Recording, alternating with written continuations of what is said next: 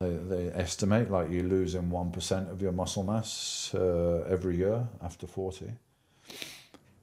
And building and retaining your muscle mass, not to bodybuilding levels, just to like, if, you, if you're like 50 years old, 55, 60, whatever, if you could build your muscle mass up that you've lost back to your healthy levels of a 20 year old, we're not talking about bodybuilder, Yeah, we're talking jacked, about a, a, tw- a healthy, lean 20 year old muscle mass. You've lost uh, 20% of that by the time you're 60. So just putting that back is going to have such a positive effect on your health and all your markers like blood sugar and so on. As you're losing muscle mass, you're losing the ability to process sugars as well.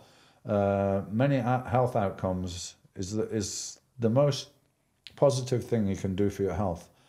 We could argue cardio, but cardio would be second easily in my mind to, to having muscle mass. Yeah, no good have, having great cardio if you've got no muscle mass and your immune system's in the toilet. You know. Well, the, the definition of dying from old age is normally when someone falls over because they're weak, they break the hip, and then they die in hospital. Yeah, weak bones, uh, no muscle mass. Uh, if you're hospitalized, you're going to be basically cannibalizing your muscle mass. You're not moving and so on.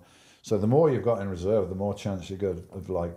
I think it's uh, there's a very high percentage of people over 65 that do not recover from that from that fall that breaks the hip um, due to having a lack of muscle mass and weak immune system, and they just you know it's a downward spiral from there.